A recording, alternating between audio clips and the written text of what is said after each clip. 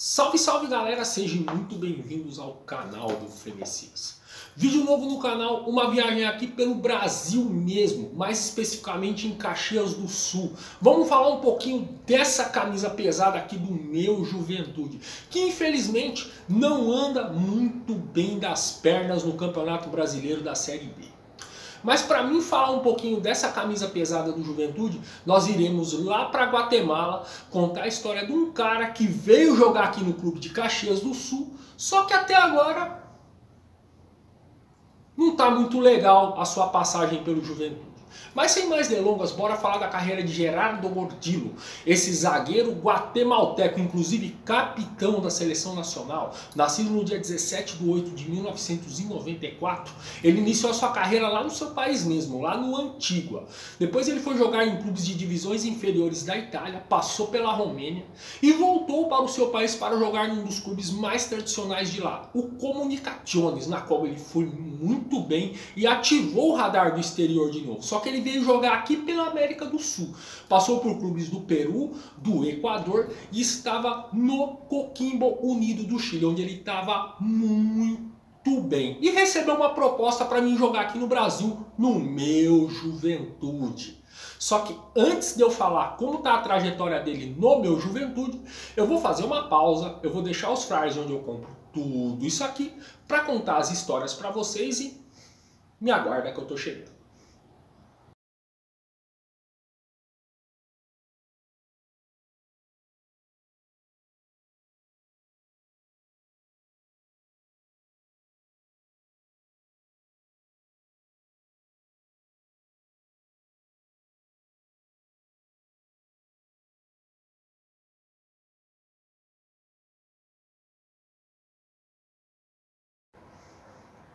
De volta mais uma vez. Então, ele foi contratado no finalzinho do ano passado, mais especificamente em dezembro, ele foi anunciado como novo reforço do Juventude.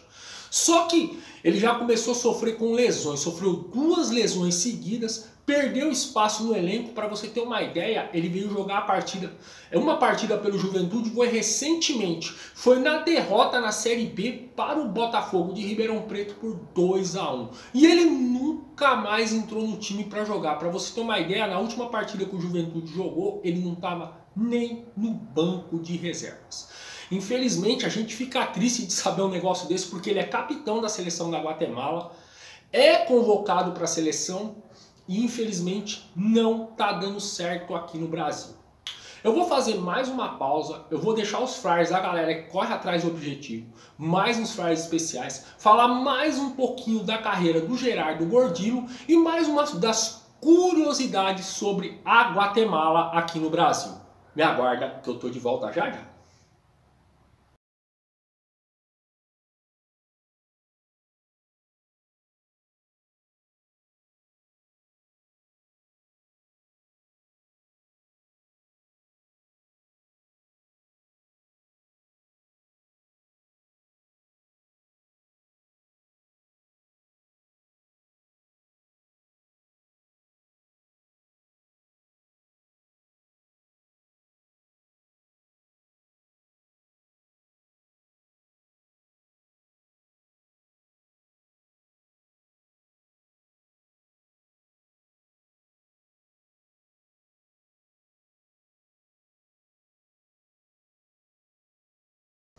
De volta mais uma vez. Eu vou falar umas curiosidades da carreira do Gerardo Gordillo. Ele também tem nacionalidade italiana e ele também, além de zagueiro central, ele joga de lateral direito. Os seus fortes, seus pontos fortes no futebol são a liderança e a bola aérea. Mas você sabia que o Gerardo Gordillo não foi o primeiro guatemalteco a vir jogar no Brasil? Os dois primeiros foram Henry Lopes, que jogou em equipes do interior de São Paulo, e Marcelo Saraiva, que passou pelo Inter de Porto Alegre. O que eu posso falar é, do futuro aqui no Brasil do Gerardo Gordilho? Eu espero que ele se recupere, porque é, é um bom zagueiro, ao contrário do que todo mundo está pensando, está pensando que é um blefe, que é que veio, veio empurrado para cá e não é bem assim. É um bom zagueiro, é um zagueiro que se o Thiago Carpini é, tiver paciência, ele vai evoluir e vai tomar conta da zaga do Juventude e vai marcar gol ainda, porque é um bom zagueiro. Thiago Carpini, te peço, tem paciência com o Gerardo Gordilho, põe ele para jogar, porque eu garanto que você não vai se decepcionar. Bom, gente, o vídeo está aí, eu espero que vocês curtam. Façam esse vídeo chegar lá no Juventude ou no Geraldo Gordilho e pede para eles divulgarem para a gente o canal. E se eles quiserem mandar umas camisas para cá, pode mandar, porque essas camisas contarão histórias aqui no canal, com toda a certeza. Próximos vídeos do canal, vamos fazer duas viagens ao mesmo tempo, como eu fiz nesse vídeo aqui. Vamos falar da França, jogadores que jogaram pela base francesa, em algum momento foram encarados como joias. E vou fazer três episódios, três jogadores. Um hoje está pela República Centro-Africana, outro está por Togo e o outro defendeu a seleção de Guiné-Conakry. Aguarda que está quentíssimo. Um abraço, fique com Deus e tamo junto.